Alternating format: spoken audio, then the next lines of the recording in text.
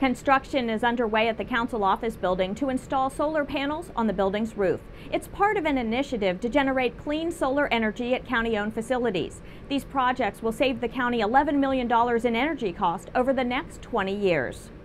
If people look, uh, the county is doing that on a number of its buildings. Uh, we're really trying to go green to the extent we can, and energy efficiency is certainly a key element in, of all of that.